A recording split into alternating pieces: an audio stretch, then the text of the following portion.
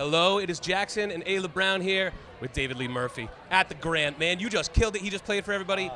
Your stories, your music, your energy, so good. What a crowd! I mean, I had a. I've been looking forward to coming up here all week, and the snow and the cold weather and the ice. That's such a lie. And- You've not been looking forward to doing I have any too. of that. I have no. too, Ella. You know I have. All right. Well, we appreciate you coming to Boston. Yeah, you, you had to do a lot. Yeah, yeah. What was so cool was this crowd was rocking tonight, and it was really fun, and, and it was a pleasure to be here.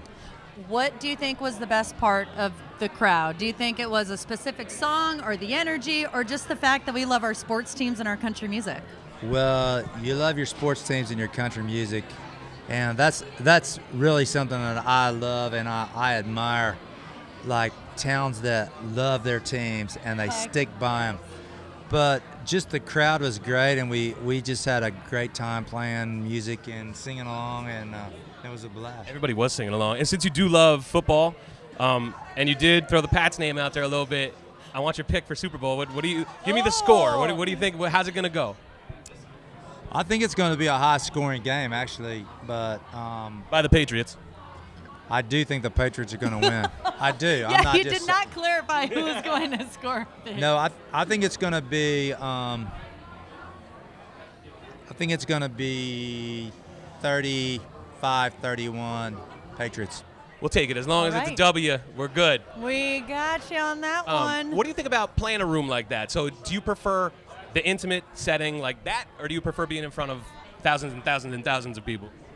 Well, I mean, the, I mean, like right there, I had people sitting, standing right in front of me singing, and I could look them right in the eye, and that's what's really fun.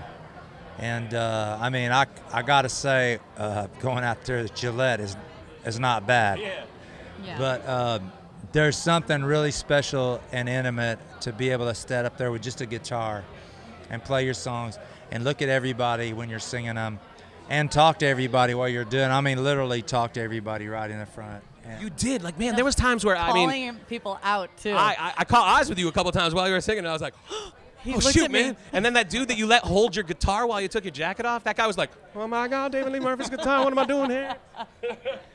it's all fun, man. I mean, that's just that's just part of it. Just uh, it's having fun. I mean, we play music. We're fortunate.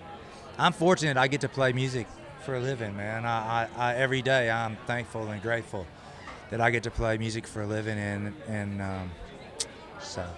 You're blessed with that voice too, man. Like, yeah. it's it's so strong. It's your voice is just. I, I've never seen you live. I'm not gonna lie. Like that was the first time, and that. I'm a huge fan. That was unbelievable. What I love are the stories behind the songs. Like as a songwriter, it was really touching to hear some of the stories. But are there been any songs that you've written that you wish you had kept for yourself that like or were you just happy to be a part of the process? All of those songs that I played, I wish I'd have kept for myself. That's what I mean. no, I I'm teasing. I'm teasing, but the thing is, um, uh, like you, you're you're not always in a position to put a song out, Yeah. and uh, whenever you write a song, it's just like uh, like the Kip Moore song that was just out, Last Shot. Kip and I wrote that with a, with uh, Dan Couch. We just wrote we wrote that song together one day, and I hear that I go, damn, I wish I'd have had that. And then like Yeah. uh, there's a couple of songs on Luke's new album. I wish I'd have had from mine. There's a song on Jason's new album. I wish I'd have had. There's one on Thomas Rhett's record. I wish I'd have had. Um, but I, I write songs and I just love writing songs. And sometimes somebody else cuts them. But Yeah. all of those ones that are hits, I wish. I wish they were. Yeah, but you've lying also to you. Wish had were hits, mine. so- I wish they were mine. What is your secret to writing then? Like, cause you you've written so many damn hits. Like, what? how do you get to that frame of mind?